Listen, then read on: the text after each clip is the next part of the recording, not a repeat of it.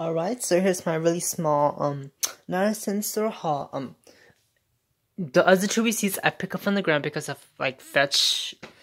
Okay, cut someone buy, you know, some, like the Cheetos, which I get points, and I got the dub points. And I'm gonna submit for the Hershey's.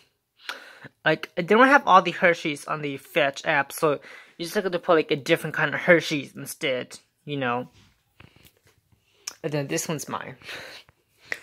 And of course, these are just all a dollar each. They finally have, they restocked the tofu, which is good news. I only get the firm. This is the only firm variety they have. They don't have any other firm varieties. They have the other one, which is um silk, which is has the tofu brand.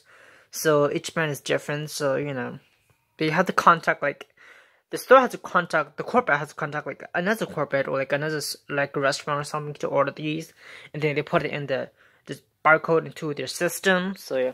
And then also this is for the dollar, So it's really good news.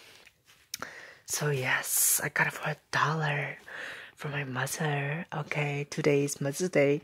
It's it's like ten o'clock right now, I believe.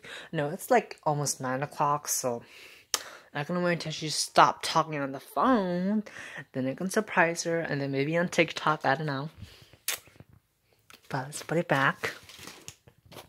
Okay, thank you for watching. Oh yeah, I just disinfect my stuff already. It smells like rubbing alcohol inside and outside of the bags and the handles. And also the snacks. Up, down. Swipe. Also wipe your doors. And then this one, I'm probably just gonna um put dish soap on it instead and rinse it at the sink and make some bubbles and then rinse the bubble off. So yeah, disinfect your stuff when you come back home, especially plastic stuff like this, that like has plastic surrounding.